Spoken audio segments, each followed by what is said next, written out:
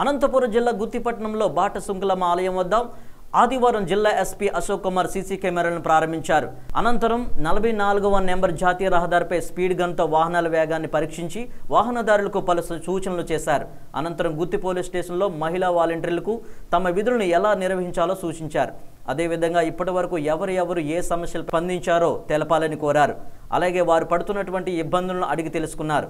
ఆ తర్వాత విలేకరుల సమావేశం నిర్వహించి జిల్లా ఎస్పీ గుత్తిపట్నంలో క్రైమ్ రేటు అధికంగా ఉందని వాటిని తగ్గించడానికి బ్లోకోట్స్ మరియు స్పెషల్ బ్రాంచ్ సిబ్బంది నియమించామన్నారు. ట్రాఫిక్ సమస్య అధికంగా ఉండడంతో ట్రాఫిక్ ఎస్ఐ కూడా నియమించమన్నారు. జిల్లాలోని రోడ్డు ప్రమాదాల్లో మొదటి రెండు స్థానాల్లో గుత్తిపట్టణం ఉందని రోడ్డు ప్రమాదాలు తగ్గించడానికి నేషనల్ హైవే వారితో చర్చించామని త్వరలోనే సమస్యను పరిష్కరిస్తామన్నారు.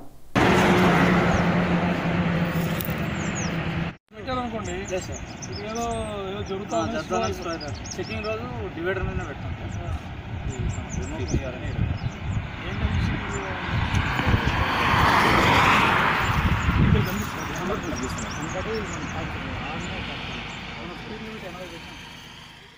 స్కూల్ కాడ పిల్లల్ని టీచింగ్ చేస్తా ఉంటే ఫోటో తీసి సార్ పంపించాను ఇక్కడ ఉండే సమస్యలు మీకు ప్రత్యేకమైన సమస్యలు మీ దృష్టికి వస్తుంటాయి చూస్తూ ఉంటే కనిపిస్తుంటాయి కదా స్కూల్ ఉంది అక్కడ అబ్బాయిలు వచ్చి రోజు అక్కడ కూర్చొని అమ్మాయిల్ని వేధిస్తున్నారు. అది మీరు మీ దృష్టికి వస్తే అక్కడ అమ్మాయిలు మీరు కూడా లేడీ మాదిరి వెళ్తుంటే మిమ్మల్ని కూడా టీచింగ్ చేస్తారు అదే కదా?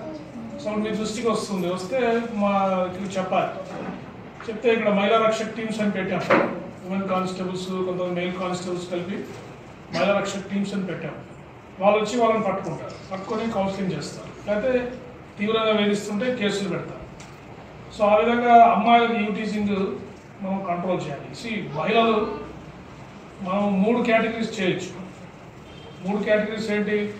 చిన్నపిల్లలు చిన్నపిల్లలు ఎదుర్కొనే సమస్యలు కొత్తగా ఏంటి?